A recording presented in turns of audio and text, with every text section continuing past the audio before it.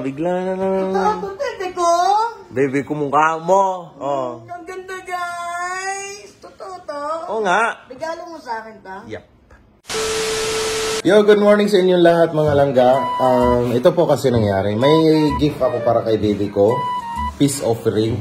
Alam mo kasi lately lagi kami nag-aaway, lagi na kami nag ah, nagtatampuhan. So ngayon may peace offering ako para sa kanya. And sana matanggap niya na hindi siya hindi niya ako babastirin. Tanda natin natutulog siya ngayon sa kwarto. Ito, ito guys, ito, tingnan niyo.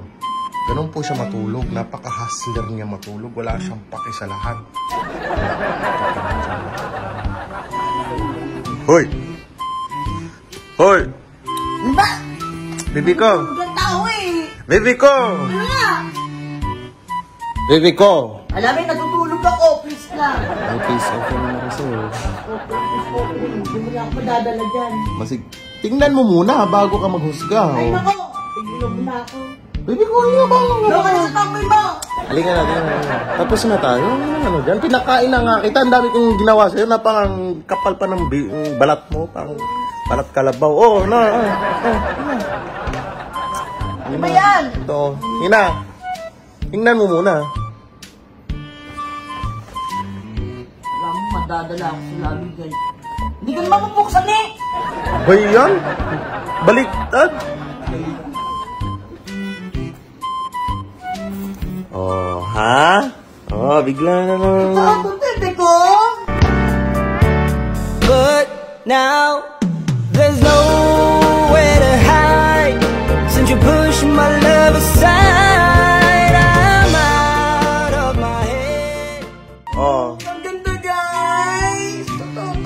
nga. Regalo mo sa akin ta. Yeah.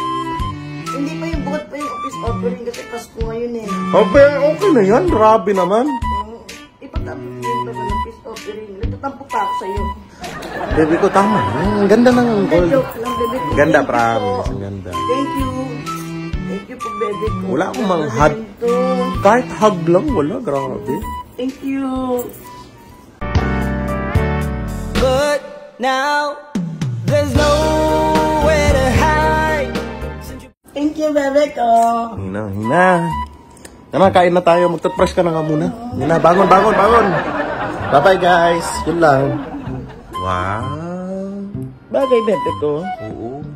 Alam mo, may may na, naalala ko ng mga, mga ginagaya mo sa Pinas.